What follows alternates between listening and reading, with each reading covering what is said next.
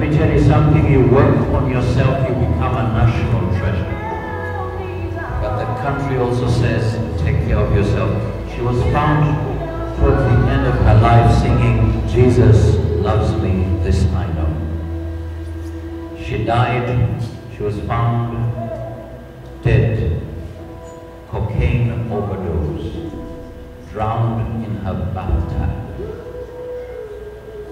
All the talent. The saddest thing is just the way she died, that's how even her daughter died. And this is the other story where she is asked, where do you see yourself 10 years from now? You see, it's possible to have a vision, but if you don't live it,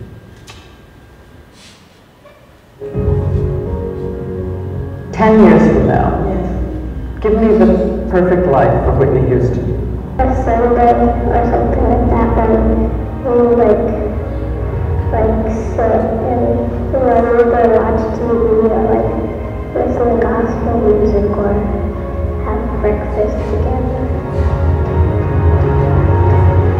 The daughter also died in the same way. Cocaine overdose, found drowned in her bathtub.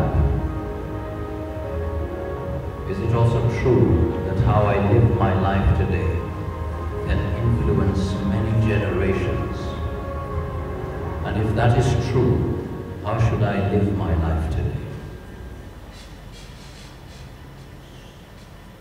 I pray that my children, when they say, my name is Prince Mwakazi, people will open doors. They'll say, we know you, Father. We know you, Father. We know you, Father. What's your name? Diana, your other name? Anyangu. I pray that, you know, God willing, as you continue on the generation that will come after you, they will say, Diana opened a door for us. But it starts right now. That's right. Impacting generations. I write well to impact generations. I speak well to impact generations. I dress well to impact generations. What about you? What have you learned? What more would you want to learn? What can you add? We have some? Uh-huh, thank you. So as you run the journey, you know this story. Use that force. Use the force. Use the force to push you forward. Sometimes it's not enough to run, sometimes you have to fly. It's just part of life. It's just part of life. Like Jemima Sumgong, when you fall down, you injure yourself, don't stay down there. Pick yourself up. They will insult you, pick yourself up.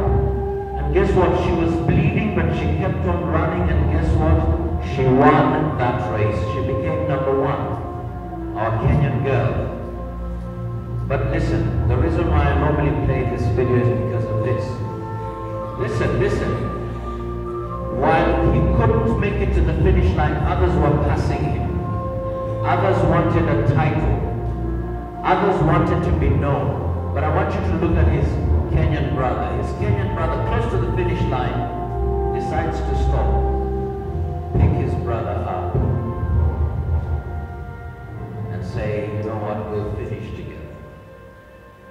Have that spirit in whatever you do. Pick up your brother, pick up your sister, and that's how we will transform Kenya and Africa. It was an honor talking to you. Asanteni sana.